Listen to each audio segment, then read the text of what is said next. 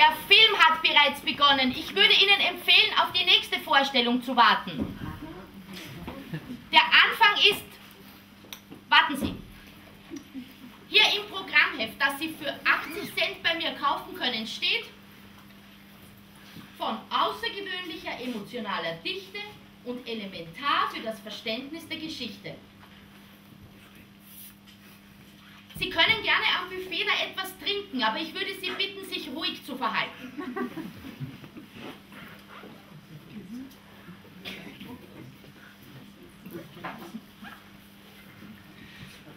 Gehören Sie alle zusammen? Ja. Ich frage nur, weil normalerweise ist hier nicht so viel los. Verstehen Sie mich? Hören Sie mich überhaupt?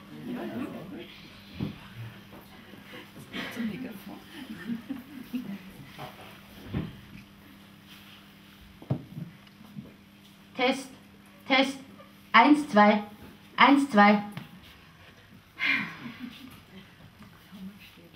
Wenn ich ehrlich sein soll, ich bin froh, dass die Leute nicht mehr ins Kino gehen. Sollen sie doch zu Hause bleiben, aus ihren Hosen schlüpfen, sich in Büchern verlieren, vor ihren Fernsehgeräten einschlafen. Für mich hat das was Beruhigendes. Davon abhalten, in sinnlose Aufgeregtheit zu verfallen. Aus sinnloser Aufgeregtheit entsteht nichts, was irgendwem irgendwas nützen könnte. Gar nichts. Ich weiß das. Aber alle lassen sie sich scheiden, weil ihnen diese Aufgeregtheit abhanden gekommen ist. Weil die Ruhe sie heimgesucht hat. Ist das nicht idiotisch?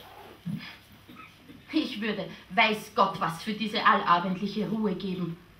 Das ist eine ganz spezielle Ruhe. Für die braucht es zwei. Wissen Sie, wovon ich rede?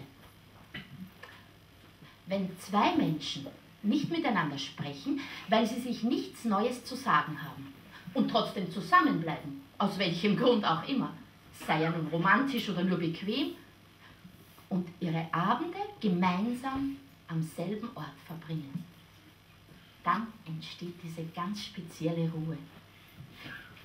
Da schweben Dinge und Phänomene im Raum, die sind unbezahlbar. Routine oder Langeweile, warum auch nicht? Ich meine, man verliebt sich und beschließt, für immer beisammen zu bleiben. Für immer. Das ist doch eine ziemlich lange Weile, nicht wahr? Aber kaum macht sich diese Langeweile bemerkbar, kaum erhebt sie ihr Haupt und stellt sich vor. Guten Abend, mein Name ist Langeweile. Ich würde jetzt ganz gern bei Ihnen einziehen. Ich brauche nicht viel Platz, ich bin pflegeleicht, ich schlänge mich da einfach irgendwie dazwischen.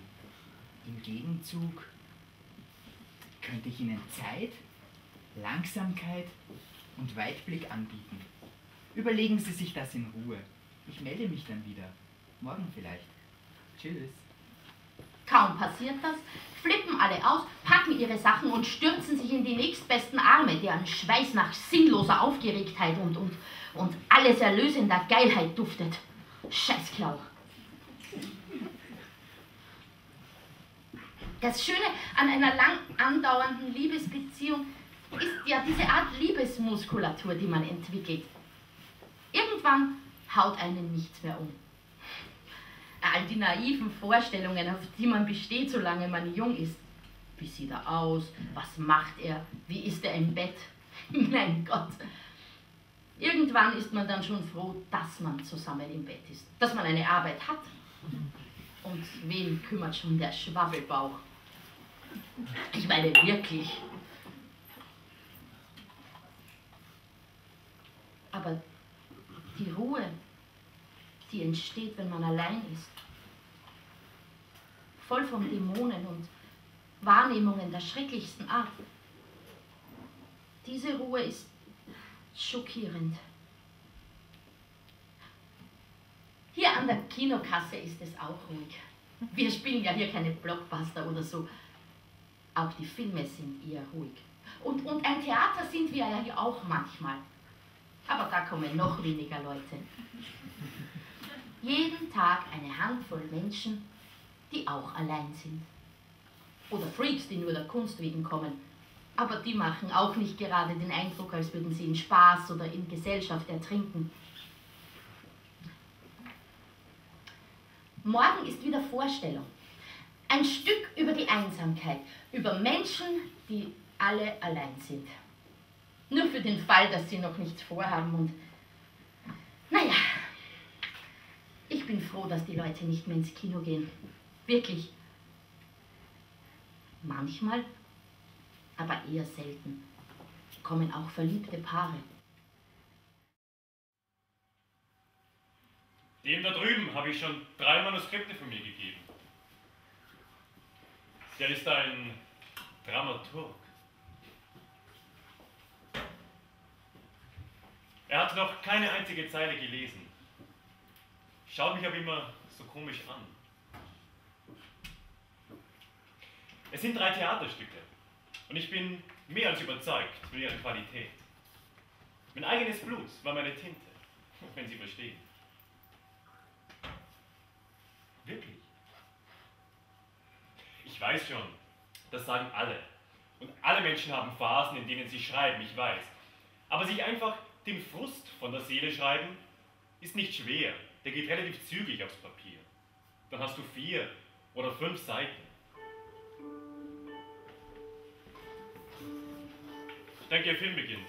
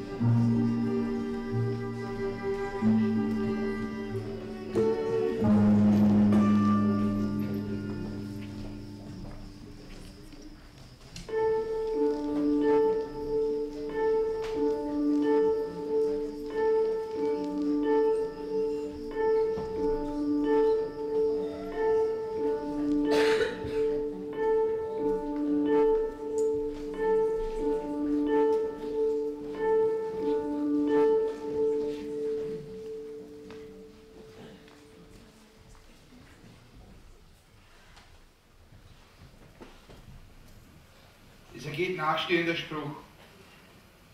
Gemäß 6 Abs. 4 NÖ Veranstaltungsgesetz sind bei der Durchführung der Veranstaltung nachstehende Auflagen einzuhalten. 1. Punkt. Die Veranstaltung ist so durchzuführen, dass eine unzumutbare Beeinträchtigung oder Belästigung der Umgebung, insbesondere durch Lärm, vermieden wird. Bei Nichteinhaltung kann eine Übertretung des 1 Litpunkt A. NÖ Polizeistrafgesetz LGBI LBGL 4000-2 vorliegen. Dies gilt auch für mobiltelefonische sowie krankheitsbedingte Belästigungen seitens des Publikums. Es sei denn, die schriftliche Bekundung einer zwingenden Notwendigkeit seitens eines zuständigen Kinderbetreuers BZW. Facharztes wurde rechtzeitig dem Veranstalter übermittelt. Ansonsten kann ausgeführte Übertretung zur Einstellung der Veranstaltung durch die Bundespolizei führen. Stumpf wiederholt auf die Lage dann. Zwei, Punkt. Zum Schutze des Publikums sind unbeschadet der vorstehenden Auflage Veranstaltungen grundsätzlich so durchzuführen, dass im Publikumsbereich ein äquivalenter Dauerschallpegel von 93 dB nicht überschritten wird. Bei Übertretung dieses Wertes ist den Besuchern bei Eintritt in die Veranstaltungsbetriebsstätte ein Gehörschutz mit einer Schalldämmung von Mindpunkt 15 dB, Genpunkt ÖNORM EN 24869-1 Doppelpunkt 1992 kostenlos zur Verfügung zu stellen und durch Anschlag auf die Gefahr einer Gehörschädigung hinzuweisen. Sollten Kinder bei der Darbietung anwesend sein, so darf ein Bereich, der für Kinder gewidmet ist, ein Wert von 80 dB nicht überschritten werden. 3. Punkt.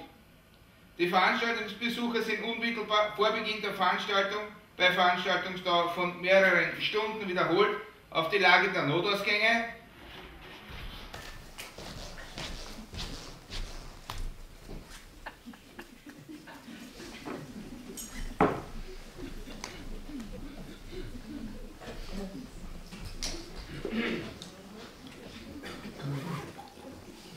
hinzuweisen.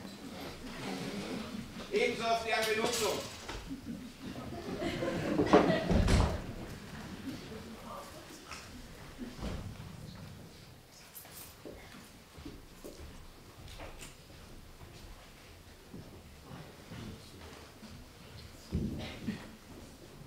Test 1, 2. Dieser Hinweis hat so vorhanden von der Bühne aus oder, von der Stelle aus, wo ein Mikrofon ist, über die Lautsprecheranlage zu erfolgen.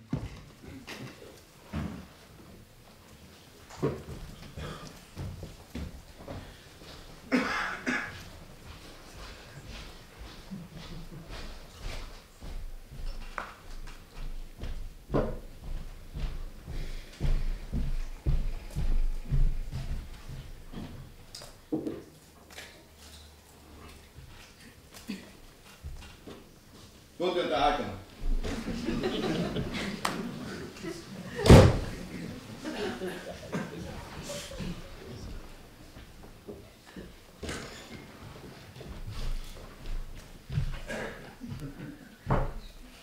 Eine Veranstaltung ist öffentlich zugänglich. Somit gelten grundsätzlich die einschlägigen Bestimmungen zum Nichtraucherschutz des Tabakgesetzes, Klammer auf, Novelle BGBL 1.mr.120-2008, Klammer zu, auch für Veranstaltungsräumlichkeiten.